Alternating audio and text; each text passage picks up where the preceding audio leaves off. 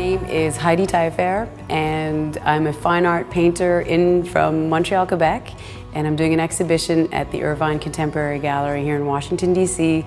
called Muses and Heroes. And it is a, a compilation of about 12 paintings and four or five drawings um, which are representative of a number of different themes, ranging from animal rights issues to uh, themes that touch on the human condition, such as fear or love.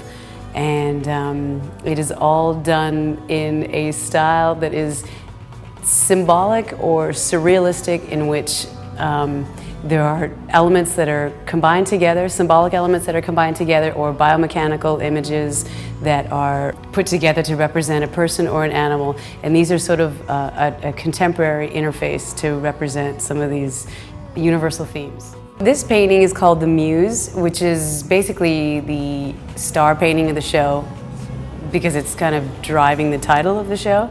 Um, and The Muse is a painting on love or the search for love and um, the fears that are inherent in uh, love and the whole game of um, uh, intimacy or vulnerability and allowing oneself to fall in love.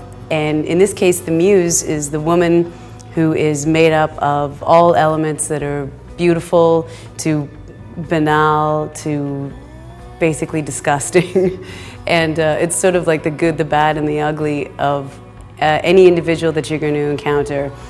And um, the child on the horse is uh, an individual who wants to reach out for love but is not capable of accessing it or allowing himself to be vulnerable to it or to move forward and um, get what he essentially really needs.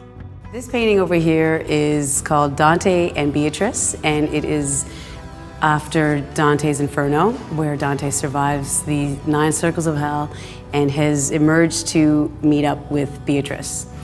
Um, the style of rendering was done um, in a sort of Baroque or I guess sort of a Baroque style, very ornate, and uh, incorporated motifs that were found in um, work that had been done by Jacopo Ligozzi.